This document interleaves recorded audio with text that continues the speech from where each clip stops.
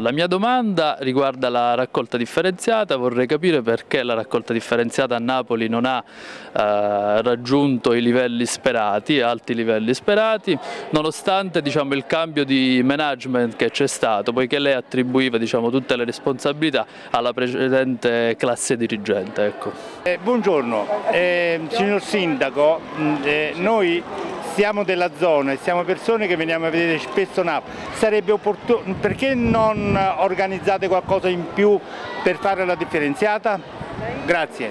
Pongo un, un quesito, per l'immondizia a Napoli co cosa pensa di fare?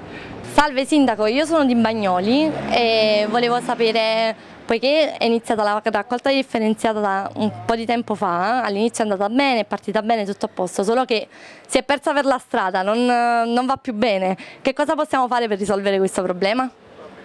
Signor Sindaco, buongiorno. Eh, cosa sta facendo per tenere pulita Napoli? Volevo sapere il motivo per cui si debba pagare tanto per l'occupazione di suolo, dove uno vuole pagare ma non così tanto, e il motivo, non so se riguarda il sindaco o meno, di pagare due volte eh, diciamo, la tassa dell'immondizia. E qua innanzitutto scontiamo, dobbiamo dire, una carenza economica forte che non ci consente di fare quel salto di qualità definitivo che vorremmo, ad esempio estendendo il porta a porta ancora di più o avendo più spazzatrici, però dobbiamo fare di più come soggetto pubblico, quindi Asia che comunque fa tantissimo in un contesto dato complicato deve dare ancora eh, di più il massimo. I cittadini devono avere comportamenti complessivamente ancora più attenti e cessare quella inciviltà di una minoranza ovviamente eh, però che fa rumore e fa immondizia, in questo caso che continua eh, ad avere comportamenti incivili. E poi dobbiamo anche creare nuove forme anche creative per certi aspetti nella raccolta